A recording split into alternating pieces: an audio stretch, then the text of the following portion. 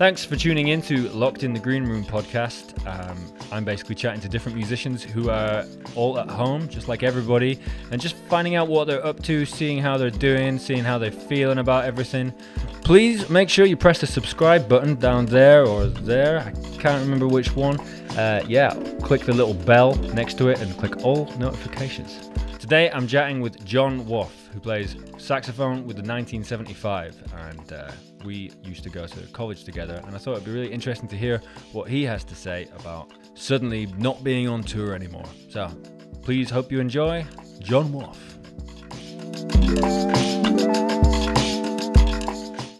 We were in your bedroom in Leeds and we were recording violin for a film project.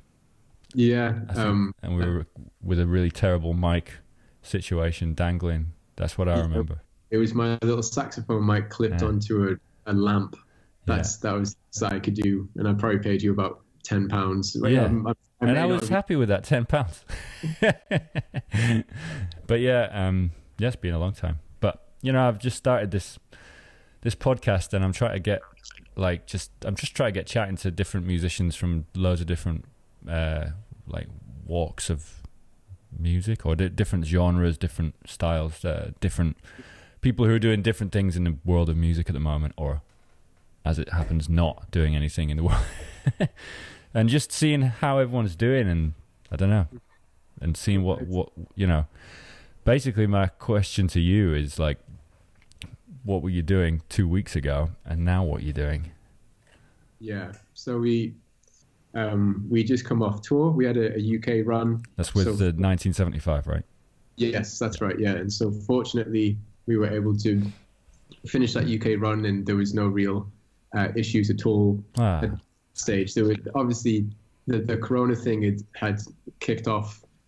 Um, you know, a lot earlier than that, though it hadn't become so much of a threat um, as it is now. Yeah. And so we were on tour. We'd finished UK run. That was great. And then um, we had maybe six months or so of promo work booked, um, fairly sporadic dates, but um, albeit um, fixed dates in our diary, and yeah. uh, doing TV shows and that kind of thing to mm-hmm. to push uh, the 1975's new album. Right. And then that was going to lead into a a two month US tour at the back end of April. Mm-hmm. And so obviously in light of everything that's been going on, all of that work has been um, has been postponed. Yeah.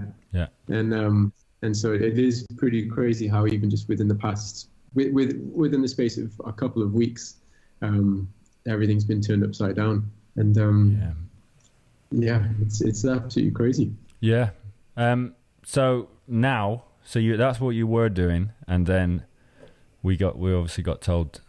Well, I don't know actually where you are. Are you are you in the UK? Yeah, I'm yeah. in London. Yeah. All right. Oh, nice. Um, well, yeah, we've been told stop everything and and stay indoors. So what what's going on? what are you doing? Yeah, well, um, I I'm doing some Skype tuition. Nice. Uh, really, that was the first thing that came to mind when all of the the live work and the gigs and everything once once they were pulled. Mm-hmm. Um, my my first reaction was to try and book in some Skype tuition. Yeah. And so um, I've been doing that for a while anyway. Okay. So it's a fairly common practice, and um, I I try to I I used to do it more on tour, but then it just became you know a lot more complicated with time zones in mind and and yeah. having like enough Wi-Fi connection, all that kind of stuff. Um, but so I've been doing it for a while anyway, and so any downtime that I have between tours, it's something that I naturally gravitate towards just nice. to okay. build my diary a little bit. And so um, I've I've booked a few of those in, which is great. Though I thought I would just, given how uncertain everything is, I thought it would, it would just be a nice gesture to, to offer some free tuition for the yeah. first couple of weeks. Um, and I thought for a, a two week period, that would kind of coincide with a lot of people's you know, if people have to isolate themselves, it's mm-hmm. it with the length of time that they have to do that. So I've I've just started that two week period of of offering some free music lessons and ah. Um, and what what's interesting is the second that I advertised it online and saw a few of the responses coming in, I I immediately felt not that it's I didn't not I don't want this to sound selfish, but I immediately felt better about things. Generally speaking, Yeah. uh, just small Mm. acts of kindness go a long way on, on both sides of the Yeah. the jest, and um and and so that's been really cool, and it seems to have been well received. And um, what's funny is any time that I've offered or advertised Skype tuition before, you know, I'd get maybe between zero and five responses Yeah. to a post, and because it was for free and because everyone's at home Yeah. not doing anything, a, a couple of hundred come through, which is really Wow. really exciting. Uh, a little bit overwhelming. So unfortunately, I, I was unable to obviously answer to everyone, but Yeah. um, that initial response was, was really lovely, Yeah. uh, and uh, and so it's nice to have something like that to, to Yeah. offer, which can be help people out and keep people occupied, and Yeah. you know, Yeah, that's really that. You know, that's really nice. And uh, hey, did you find like you know you're saying that these random acts of kindness that you that you get on both sides, you find that you're like more susceptible to like um like an emotional reaction to that right now? Because I definitely have been. Like as soon as anybody as as I get any sort of like uh yeah like see an act of kindness like that towards me or if I feel like I've done something, I'm suddenly like a lot more emotional about it than I would be in any other circumstance. Usually, I'm like, ah, it's nice that you know, because I like, for example, my other podcast, somebody, a couple of people donated to me just to say, hey, you know, really like the podcast. I want. I want to see you keeping it going, and I was just instantly like, just like nearly crying, like Yeah. welling up a little bit, and just thinking like, oh my god. And I don't know if I'd have had that that like uh, that reaction if yeah, if I if it wasn't for this like crazy sort of horrible situation that the world's in. Don't I know. know. I, it's as if your people's capacity for those kind of things, uh, it really opens up Ah, a lot. And um, and I think just because we're not, our minds aren't cluttered with the kind of stuff that we're occupied with. There's there's no time or there's literally no space or need for certain things Yeah. anymore. And so there's there's certain aspects of culture that can be, you know, can be cast aside. Yeah, And um, you realize just how uh, redundant certain things are. And so I suppose all of that, all of that is Mm. can be completely overridden by, uh, I suppose, checking in on the, the people that are really important. And if the, even if there's something really small that you can do to help Mm. to, uh, to help out, um, that really does go a long way. And um, just having just having conversations. Like I just before this, I got off uh, the phone with um, just a, a friend of mine who's up in the northeast, Mhm. and um, and we were just talking about how crazy it's all Mhm. gotten, and um, and it just makes a world of difference just to have a chat. yeah, Um, and and also what's interesting is even if just, just having a small conversation or because uh, before I felt obliged to be um, to, to stay in, um, I, I, I dropped a couple of things off at a, at a charity shop just around the corner, like an Oxfam shop, Mhm. and they just happened to be particularly nice and polite, and it was just a really fleeting kind of dialogue and a, a really short exchange. But even that, in its sense, just because there was no mention of the Corona thing, yeah, um, because we we were donating some old clothes that we didn't Yeah. want anymore to it. To wasn't there was just something about it where you're just like, oh, I feel so much better now. Yeah. You, do, you you just need these little pockets of time where you're distracted by something uh, genuine yeah, and something important and isn't money related or work related. Has nothing to do with like being poorly or you know. Um, and so yeah, it's it's it's really important. Mm, yeah. And I like that idea that you of, of of giving the free lessons to people who, you know, because there is going to be so many people around the world who really like love love your stuff and love what you do, and like, man, like if you're in isolation, you're not seeing your family, and then you're getting a lesson with, you know, the sax player that you admire, uh, you know, for free or not for free. It's just like, yeah, I can imagine that that is really helping people. Yeah, I think uh, particularly for, for younger musicians Nah. um, who maybe haven't, um, I don't know, maybe just generally speaking as a person, if you're younger as well, you haven't got certain, um, I don't know, structure or stability or, or whatever it is, or financial Mhm. independence or, or anything like that. And so you know, if something like playing music is really important to you, you want to keep that going. And so Yeah. at least that's something that we can that we can all do. We can still pick up our instruments and, and practice at home and play and um, and so I know that there's a there are a ton of um, resources online and everything, but it's not quite the same as when you have Yeah. like a, a one-on one conversation. No, yeah, for Um, sure. Um, so yeah, I think it's it's I'm I'm very lucky that I have I don't know I, I don't want it to come from a, a place of arrogance, but to have something to, to offer someone, Yeah. even if it is just of my time and to talk about music, it's Yeah. you know re- regardless of whether or not I'm actually teaching them anything, it, it, or if if Yeah. they knew about the five or not, it's just cool just to offer some time and, and have a have a chat. Mm, yeah. And have you so like as a as a super busy musician, someone who's you know like you said you're touring and doing loads of promo work and then touring and then recording and all this. How does it feel to just suddenly have like space that you weren't expecting? Yeah, it's a little bit weird, and I suppose if I was to sit down and really think about it, it would be quite unsettling because I I I like being really busy, and I like, um, you know, I, I don't really like being cooped up, generally speaking. And so, Yeah. given that this is what we're supposed to do now, it's Yeah. um, pretty daunting if I was to really sit and dwell on things. But um, I suppose an upside is that it gives it, it gives me time to do things that I would have otherwise I've never had the time to do. Just little things around the house and Yeah. um, uh, like it's, it's it sounds silly, but like gardening, we, Yeah. we've got this quite small little courtyard that Yeah. we're trying to, to work on, and like just really simple things like planting some herbs, and spinach, and that kind of thing, and actually seeing it grow is really exciting. Stuff like that that has nothing to do with the work I'd normally be doing. yeah. Um, it, it's it's been a really cathartic um, way to pass the time.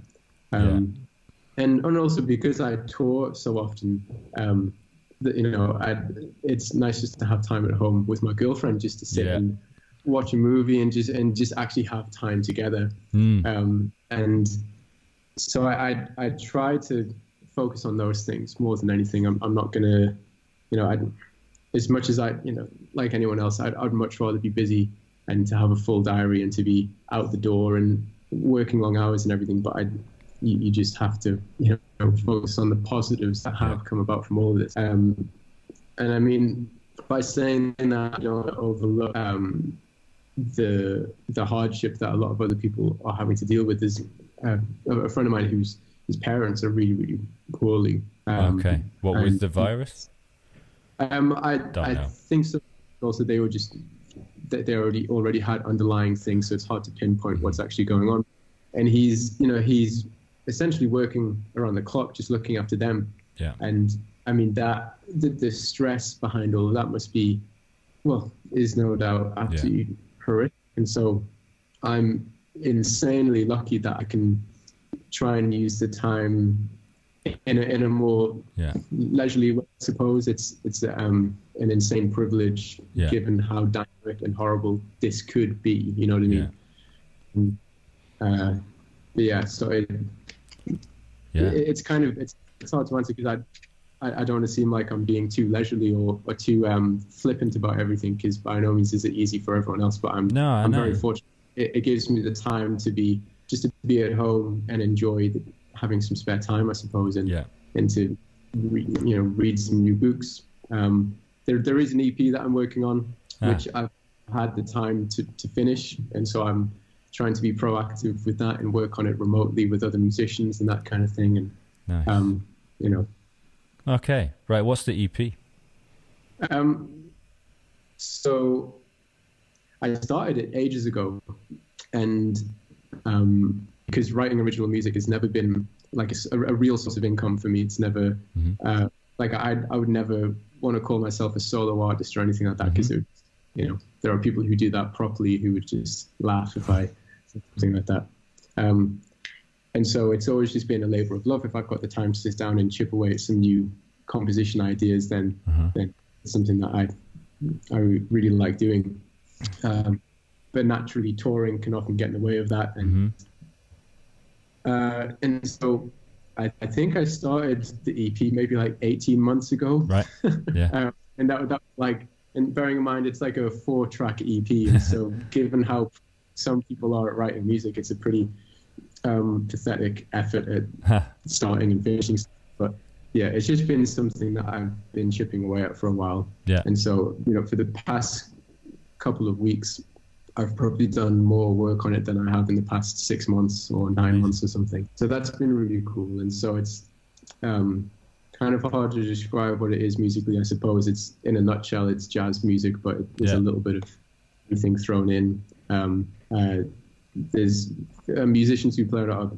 Some of them are based in up in the northeast, which is great. There's some London guys. There's a, a musician, and actually a, a Leeds College of Music alumni, a guy called George Solanos, Uh-huh. who's now based in LA. Um, me and him work together on a ton of different things, and Yeah. uh, it's been cool to have some uh, like FaceTime sessions whilst you records it and that kind of thing. Yeah. And so that that in the past couple of weeks, that's been a really cool way of of um, I suppose just hanging out with people in a virtual and talking about music and and working on something creative.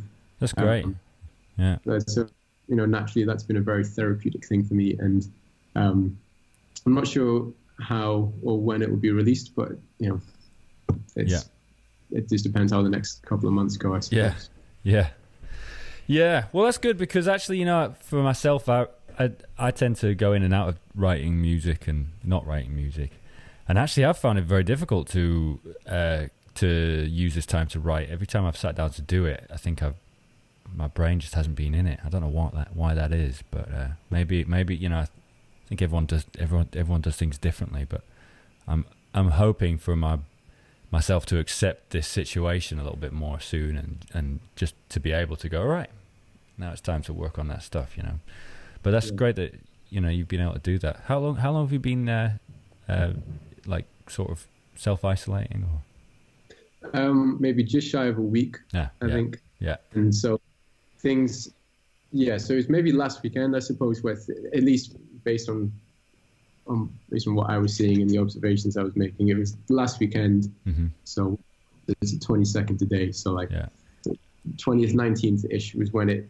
things just seemed to take a turn. Yeah. And um, everyone's uh, perspective kind of Yeah. shifted a little bit. Um, and so, but prior to then, there was still a lot of talk about how things were going to be affected with regards to the, the work I had booked in Yeah. leading up to the summer and everything. And so it was still very uncertain. And so I, I suppose I was looking for things to distract myself with. But I do know what you mean about um, having the, the the kind of focus to work on something musically because it and especially for it to be really productive like Yeah. it, it, it's kind of a common thing as well for musicians to be able to pick up their instrument and just sort of play a bunch of nonsense and call it practicing Yeah. it's not that constructive and I suppose it's easy for anyone to do that but then to be genuinely productive it's it's quite hard because I suppose maybe it's you want to prioritize other things and and as much as it's um because playing music is quite it's quite a visceral thing anyway it, you kind of go in it anyway and so you, i kind of don't want to do that too much if i'm in Yeah. self-isolation you know what Yeah, i mean yeah. Rather spending time with uh, well just having some kind of a connection with people yeah as as I can, and and just like physical exercise because I I'm not like a, a big runner, but I I love I do enjoy going out for a Yeah. run and trying to stay fit, and so being locked in is just it, it will drive me a bit mad soon, Yeah. and so um, it's finding things that are productive but and but still stimulating. I, I don't want to be too um, heavily focused on one Mhm. little project because it'll just I don't know how useful Yeah. or healthy it'll be for my for my mind. yeah i know what you So- mean Exactly what you mean. Yeah, yeah.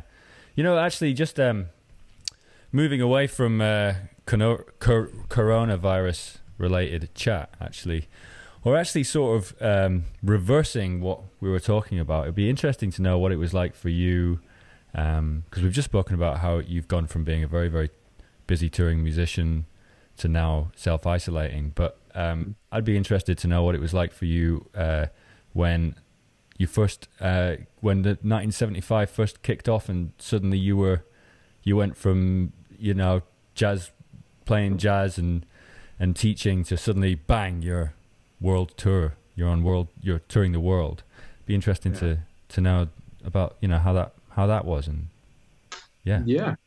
Well, because what's interesting, I think the last time that me and you would have had any kind of real conversation, certainly in the same room, would have been just before all of it kind of kicked Yeah. off. And so at the time, I was still living in Leeds. Yeah. Um, um, and it was I was really happy with the work I was doing at the time. I was busy playing with a lot of the musicians that I'm sure you were playing with, and yeah.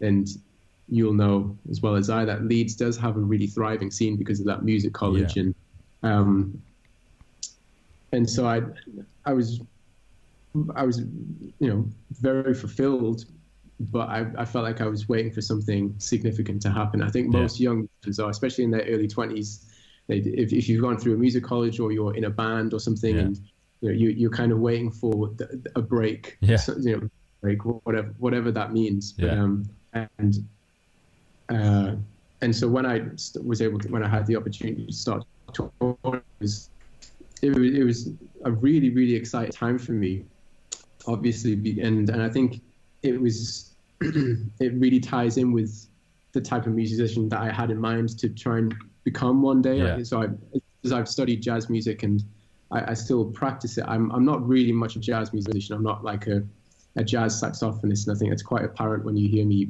play on anyone's know, music that now I'm, I'm quite a I've heard you play jazz, man. That's not true. um, but the really my my dream kind of gig would be to so to um, use little like small amounts of that jazz influence Yeah. but within a pop thing and, and have the the kind of creative license to, to do that and to get away with it and for it to work stylistically and I feel like I was really given that with Yeah. 75 so it, it wasn't just a case of having this great opportunity to tour and to play in front of big audiences it was it really felt musically in Yeah. keeping with what I was hoping to do one day. Yeah. Um, and for all of that to fall into place, yeah. and for it to be a band that I'd, I, I was kind of listening to as well, that, that a lot of their early EPs, because they were friends, they've always been good friends of mine as Mm-hmm. Yeah. well. To see them on the up was really exciting for me and a lot of my, my circle of friends who were who knew of them yeah. um, and and so it was just I, I couldn't have wished for a better opportunity. Yeah. And and the fact that it's so far it's had, uh, you know, I mean, relative to to my age, it's been a, a- quite a significant length of time for me. It's it's Yeah. been there has been a lot of longevity to to the uh, sorry longevity to the opportunity, and um, it, it's just been absolutely incredible. Nice. Um, and so the you know, and I've been to parts of the world that I, I never thought I would visit, Yeah. and um, met some really um, amazing and brilliant people who, I've, who I've always really admired, and Mhm. the opportunity to work with people that I idolize, and Mhm. um, and so I, I I really couldn't have um, written it any Yeah. better. Yeah. Yeah, I remember because I remember you chatting to me uh, probably when we were both still in college about who's that sax player that who, who you you had some lessons with, and he does pop jazz. And that, Bob is it Bob Reynolds. Bob Reynolds? That's it. I remember you being like, "That is the thing that I want to do," and that like I love this guy, and I'm really glad that I've got these lessons coming up. And I remember when you guys when 1975 kicked off and you started doing all that, and I was seeing you playing on these big stages in front of thousands of people. I was like, "Yeah, he did it. nice." You know, it's a, Yeah. pretty much I that, wouldn't right? want to. Yeah, I mean, I, I suppose at a glance it kind of looks like that. I don't want to draw a comparison between him. Sure, you know, sure, sure, sure. Yeah, yeah, yeah, yeah. But, um, but I, I know what you mean. Um, it's it's that thing of being a saxophonist and being you know pl- playing with a pop band Yeah, playing as a current musician. music. Yeah. Yeah, and and having the, you know, I, I get to play saxophone solos Yeah. with a big band in, in arenas, and um, I don't know of many No. People. I just don't know of many people who get to do that. Who are, you know, other young saxophone, saxophone players. It's it's quite a rarity, and so I'm I'm just insanely fortunate for all of that to have fallen into place. It's, Yeah. it's crazy. Yeah, it's great, Um, man. So, um, not to put a put a downer on it, but like now, so we don't know what's going on, right? We don't know what the next. Mhm. Well, we sort of know that. I guess we know like we've got three months at least, and perhaps a year of of maybe not being able to perform Mhm. What what do we do about that? What do you reckon? I mean, I don't want you. You don't have to have all the answers. Don't worry. But you know, it's just such an interesting time, stressful Mhm. time if you make your living playing music, and especially if you're on the breadline, etc. Mhm. But it's just like there's so like it's gonna have to. There's gonna musicians are gonna have to find a way to survive and to keep playing, and people are gonna want to hear music as time goes on. I know right now we're in a real critical period, and actually maybe the it, we're not as needed. But I think as time goes on, people are still going to want to hear music. They're still want to go and see gigs, and we don't know whether they're going to be allowed to do that. What What do you think's What do you think's going to happen? I mean, I mean, I, I have no idea, um, and I think it's the uncertainty which is the, the most terrifying part of, of all of this. Mhm. Um, I mean, I suppose for the- you know, as individuals and as musicians, there's still things that we can do to to generate an income, hmm and I think utilizing online platforms is, is an obvious way of doing that because you can do that remotely from anywhere. And you know, if you have the means to teach people and to share ideas, then that's then that's brilliant. That has a lot of um, holds a lot of value. Um, and also, with, given how connected the world is, we can still we can still share new music, albeit it's not live. hmm Um, but um, and again, we can we can make music in our own homes. We can record things in our own homes, and um, and and take advantage of of, of working remotely and to collaborate. You know, regardless of where we are. But Yeah. I, you know what I mean. I I don't know. I I just don't know, and I don't think anyone does. And certainly, if people are, are depending on finding um, a sense of fulfillment and happiness from live performances, then yeah, um, I think we'll have to, you know, direct our our attention towards other things, which are going to have to be things that we can enjoy in our own homes and in our own our own space. yeah. But uh, Yeah, it's just interesting because even now, like with uh, with the with the things that are being put in place. So I we I'm in a in a in a band that does uh, mainly sort of uh, a sort of modernized version of Django Reinhardt stuff, and Yeah. um, called the London Django Collective. We we've been we were planning to do a live stream, but actually we're thinking now that well, and actually pretty much definitely now we can't do that because we can't even we we shouldn't even be in the same room as each other anyway. So it's like Yeah. that that that's the thing that's uh you know if we could do live if we could do live stream gigs that would that would make it a bit easier but I don't even think that that like uh, you know I'm not sure if we should be doing that yet you know it's crazy Well, that's the thing. I mean, I, I don't know how quickly things will resolve themselves, and I know there's there's these different um, time periods that are being discussed. Like you said, it could be up to a year. Yeah. Maybe it'll be three months. Hopefully, it is three months or within three months before you know we can actually reopen businesses and Yeah. you know and just be outside together for a Yeah. little bit. yeah Um, but but I don't I don't know, man. I, I wish I had some answers, but I, anywhere that I'm looking at, it seems it's very very uncertain. Yeah, yeah, it is uncertain. I, I don't, I don't. Sorry, I don't, I don't mean to like try and get you to to answer all the questions that we're all we're all thinking about. But you know, it's just it's just interesting to to think about it. I don't really know. I don't. I st- I also don't know what's going to happen.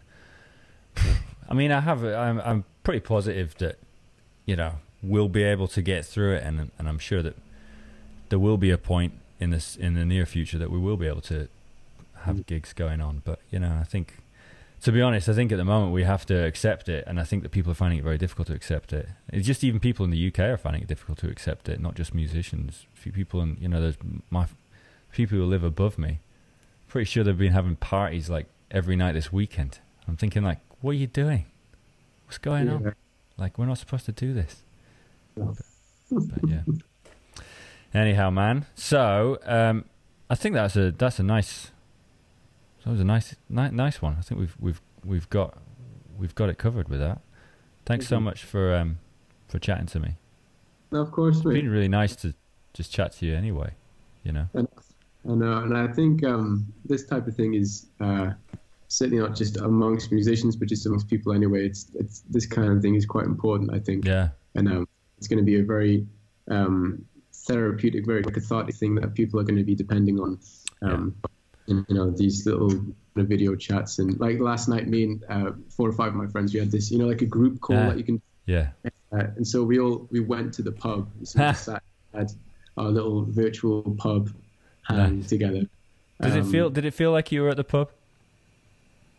Uh, no, but It, you know what I mean. It was it was good enough, and it was just you know to have. You still felt like you you were in one another's company. Yeah. is- No, I've I've had the same thing. I quite liked it. You know, it's the problem is is like it's quite hard to the thing that's hard with uh with like video online stuff these these sort of calls. It's like it's quite hard to have moments of like silence. I think we're gonna have to learn if we're gonna start hanging out with people on Skype and whatnot. we have to learn to ha- to just let it hang because at the moment, you know, if I was to if we were to just have some silence like now, it'd be like super awkward. I'd feel really awkward. I feel like you might feel really awkward. But I think we need to get used to that. You know, if we're gonna start hanging out with everyone, we just need to get used to like having awkward silence, just drinking your pint, just looking over there, and and I don't know. I know, mate. Yeah. Yeah.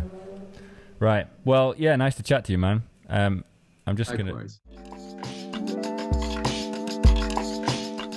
Thanks for listening to Locked in the Green Room. Please subscribe on YouTube or any of the podcast apps that you might be listening to this on. Um, yeah, and please come again.